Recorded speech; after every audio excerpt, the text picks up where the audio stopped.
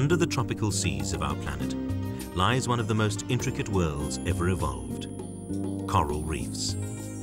Covering only one-tenth of 1% of the Earth's surface, built by the ceaseless efforts of delicate creatures no bigger than a baby's finger. Yet they achieve the highest productivity of all marine ecosystems, second only to the tropical rainforests in complexity and richness. Some of the most exquisite reefs on Earth grace the little-known waters of the Indian Ocean off southern Africa. Yet these secret realms, like coral reefs everywhere, are suffering. As global warming accelerates and the thermometers rise, the narrow niche that corals occupy is being squeezed out of existence.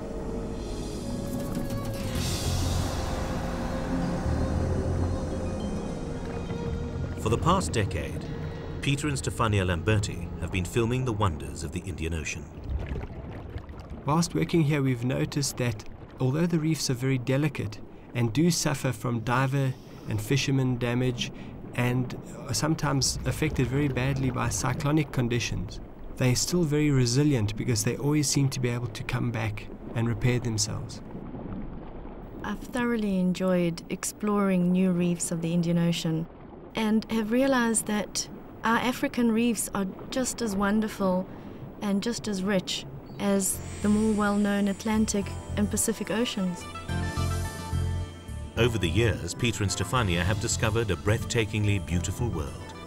Intriguing, colourful, exotic. Home to more than a quarter of all known fish species. Some of their favourite sites fringe the high volcanic islands of the Comores, an archipelago lying between the coast of Mozambique and Madagascar. These jewel-like islands are among the Indian Ocean's most prolific ecosystems. The huge flanks of the volcanoes providing footholds for large reef systems, which in turn provide homes for tropical fish, crustaceans, sharks, rays, and every other manner of life that finds its way in from the ocean.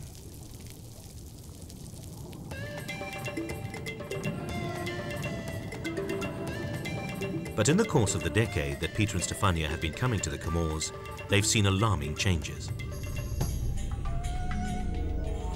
A lot of the coral is bleached white and some of it is covered in algae. And I just can't help wondering what effect this is having on the fish life that relies on the coral for survival.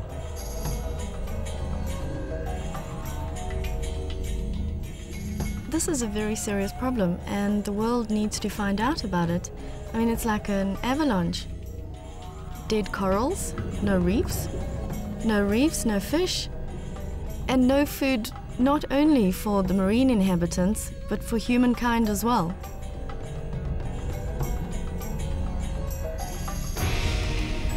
Coral bleaching occurs when reefs become stressed from increasing water temperatures, from pollution or other yet unknown causes. Pandemics of coral bleaching have swept the world's reefs for the last few decades. But in recent years, these outbreaks have grown more frequent and more widespread.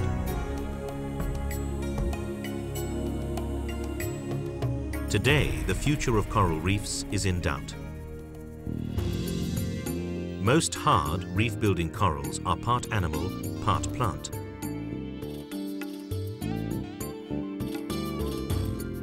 The coral polyp itself is a tiny animal, catching zooplankton with its stinging tentacles, usually by night.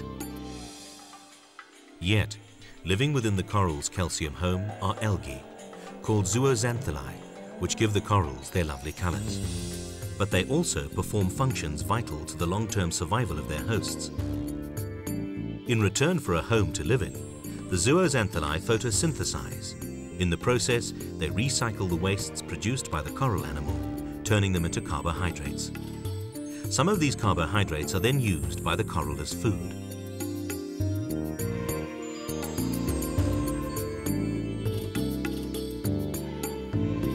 Although corals actively snare zooplankton from the water, recent studies show that corals receive more than half their daily nutrients from the zooxanthellae, and some receive 100% of their food this way. The healthy coral reef is colourful and crowded—a Aflutter with fish, lobsters and shrimp tucked into small holes, moray eels snaking into crevices, and sharks patrolling. But when a reef comes under stress, if for instance the temperature of the water rises higher than about 88 degrees Fahrenheit, the corals respond by expelling their zooxanthellae. The reefs then appear bleached. Without their algae, the corals are greatly weakened and cannot survive for long.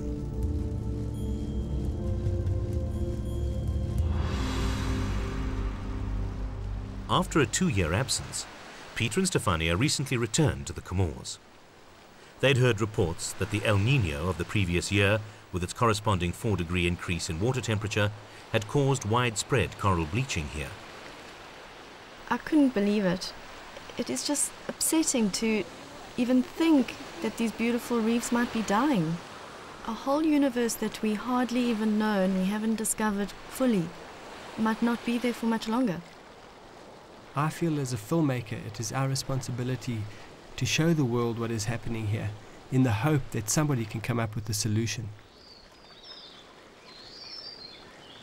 Their base for exploration of the reefs is Grand Comore, the largest island of the group and the only one to boast a still active volcano, Karthala, at nearly 8,000 feet.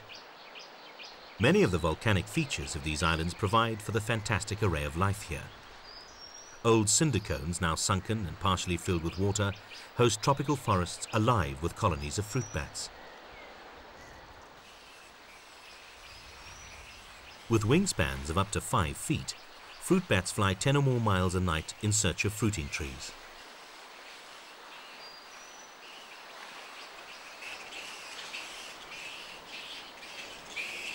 By day, they sleep together in huge rookeries, tucking their wings up around them, wings which act as blankets, parasols or umbrellas as the need arises.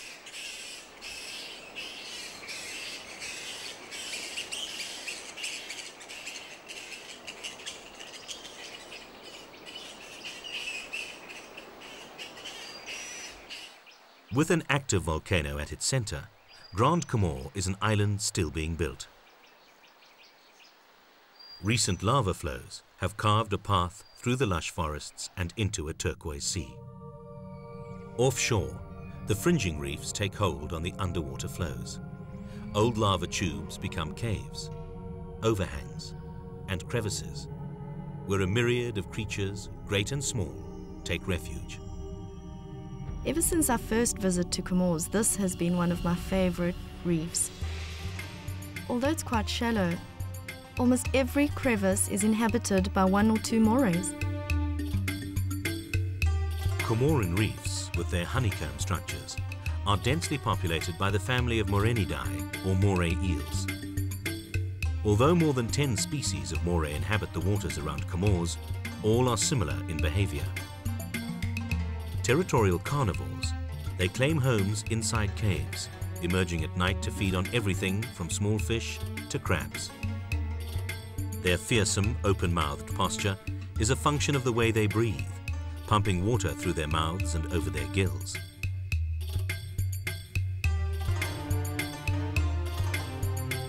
Some morays share their caves with crustaceans, such as lobsters or cleaner shrimp. Living together is beneficial to both species, because crustaceans are a favorite food for octopus, which in turn are among the morays' tastiest dinners. So when an octopus comes out at night hunting cleaner shrimp, it's likely to fall prey to the large moray standing guard over its tiny roommate.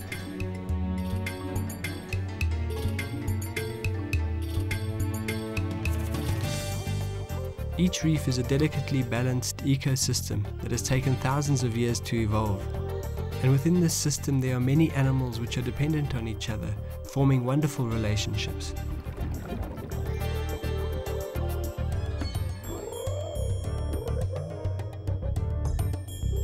Symbiotic relationships, where one species benefits from the presence of another, abound in the complex world of the coral reef.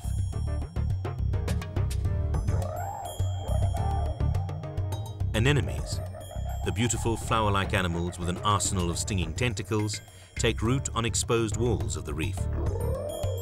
here, bathed by the currents, they feast on passing plankton. Yet living within them are small, colourful anemone fish, or clownfish. Fiercely territorial, these members of the damselfish family are not born immune to the anemone stings. Instead, they must allow themselves to be stung little by little until the toxins no longer harm them. While the clownfish live inside a virtual fortress of tentacles, they in turn provide meals for the anemone. Larger fish in the course of their pursuit may dart into the anemone after the clownfish, thereby falling prey themselves. If these tiny fish, only a few centimeters long, were as big as sharks, we wouldn't be able to dive in the in the ocean. We wouldn't be safe. I've had them come up to my mask and bang against my mask and pull my hair, and they've even tried to bite me.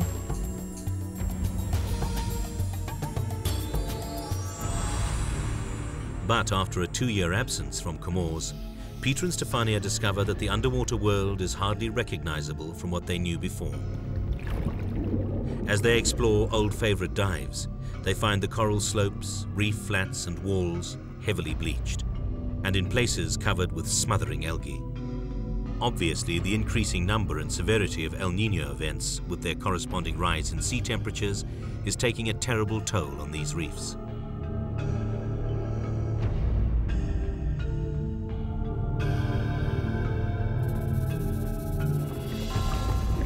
It's hard for me to believe that these coral reefs that once were so colourful and full of life now look like a war zone with hardly any living coral left.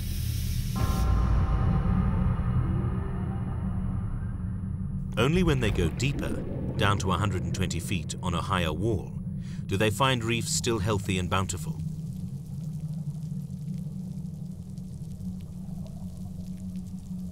At this depth, the water has remained cooler and the corals have not expelled their algae.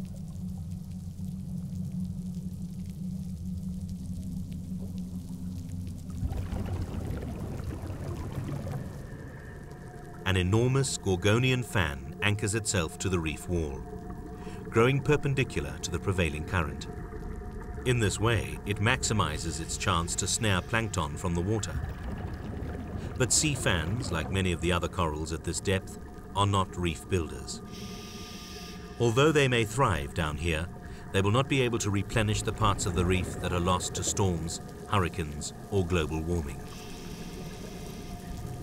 It makes me so happy when I hear the crackling sound. It means that the reef is alive. It means that the fish are eating and that the corals are growing. It's a wonderful feeling.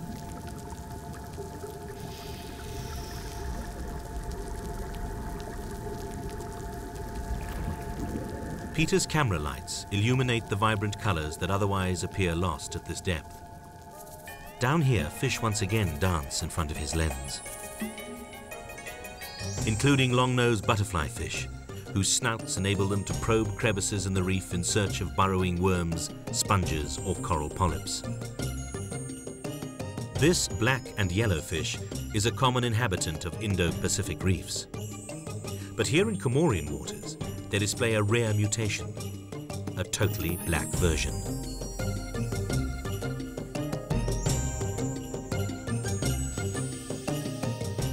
It's always a privilege to film such a rare sight. Most divers tend to look for just the big things that live on the reefs, but here in the Comores, the reefs are particularly good for the little inhabitants. And that's what makes it more worrying these little inhabitants depend on, on the corals for their food, for their lives. And once the coral polyps start dying, what are they going to eat? Where are all these endemic fish going to go?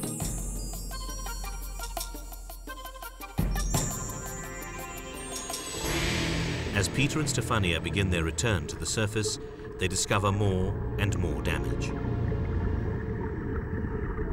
Many of the corals in the shallower parts of the reef are covered in thick green algae.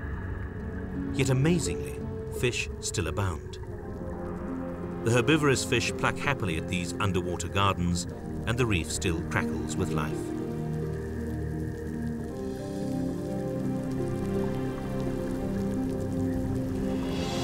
Not all reefs need an underlying structure of hard corals. Artificial reefs, formed by shipwrecks, provide an ideal substrate for invertebrates and fish to colonize.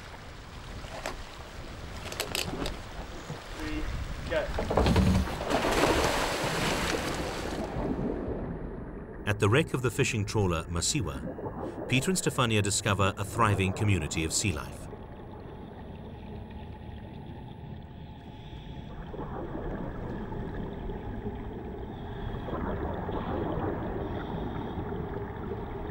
Yet the ghostly remains of this ship mark a grisly chapter in the history of the Comores Islands.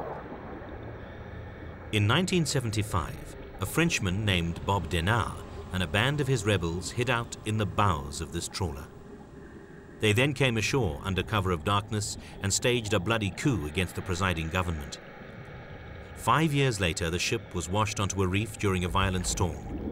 Ten years after that, it was resunk closer to shore as an artificial reef, where sea life could find refuge and make a new home.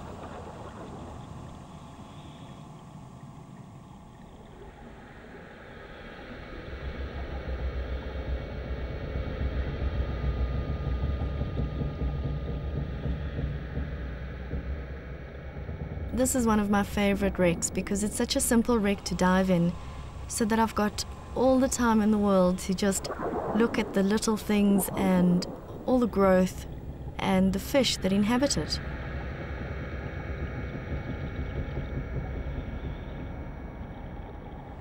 Throughout the wreck, carpets of colourful algae coat the rusting carcass. All the inner rooms, which once housed fishermen and their gear, today are hideaways for fish. Often filming interiors of shipwrecks can be dangerous because there's all sorts of things that you can get your equipment snagged on and you can kick up sediment which will impair visibility and cause you to get lost. But this ship is quite clean and easy to get around.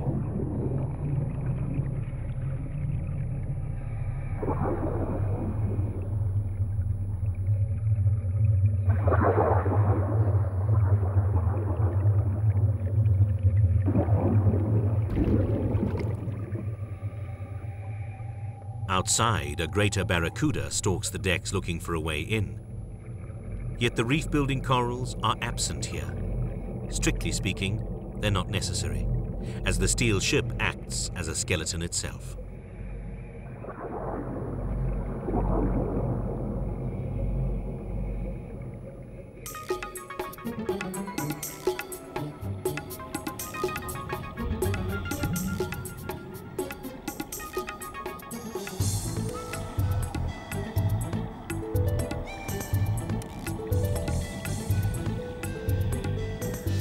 Ascending slowly, following the main mast and the guide rope, Peter and Stefania are accompanied by a gregarious school of batfish.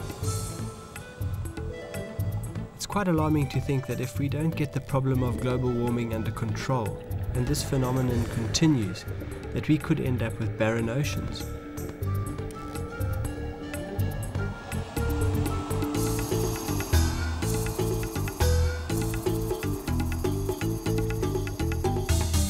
The artificial reef of Masiwa, Peter and Stefania next set course for a seamount called Banque Valieu, approximately 12 nautical miles southwest of Grand Comore. The two-hour trip takes them out over the deep water of the Mozambique Channel. Here a pod of spinner dolphins races towards them for an energetic ride off their bow wave. Spinner dolphins are among the smallest of their kind, averaging 5 feet long. They feed exclusively by night, diving hundreds of feet deep after squid and small fish. By day, they rest, or if by chance a boat motors by, they play. As Peter and Stefania approach Banque the spinner dolphins fall back, preferring the open water of the channel. Standing alone in the water between Mozambique and Madagascar, Bonfaleur is all that remains of a long extinct volcano. As its magma source dried up, the volcano eventually eroded and then subsided back into the sea. Today, its walls fall 9,000 feet to the ocean floor, attracting visitors from the pelagic or deep water zone. Schools of open water hunters, like trevallies and lesser barracuda, patrol these sheer walls. Giant manta rays cruise through, feeding on plankton as they fly.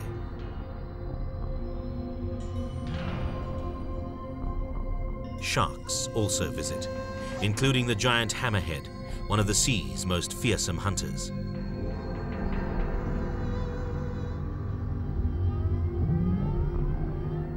There is an amazing amount of life out here.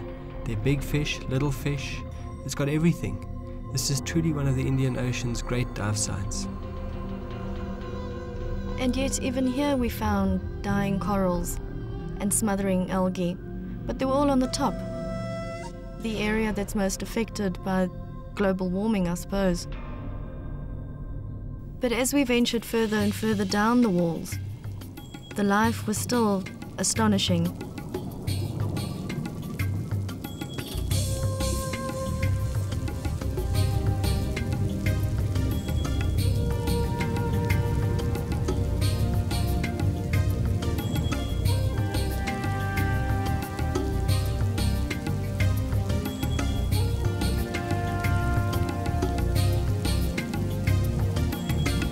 Because reef-building corals grow so slowly, adding only about half an inch per year, the formation of large reefs is a laborious process, taking many millennia.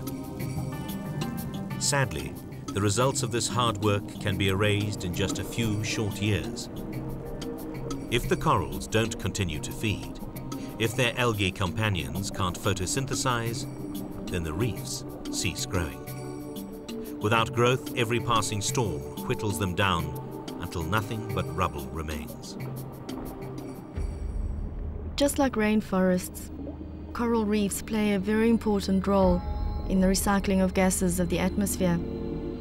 And it's frightening to think that the whole process of global warming might actually increase if the reefs keep dying. All the changes we've seen happening here in the Indian Ocean over the last few years have been happening to reefs all over the world, and that's a frightening thought. Perhaps, as some theorize, corals will adapt to warmer conditions and regenerate naturally. But if they don't, we can only hope that this will not be the final challenge in the long and splendid history of one of nature's most prolific creations.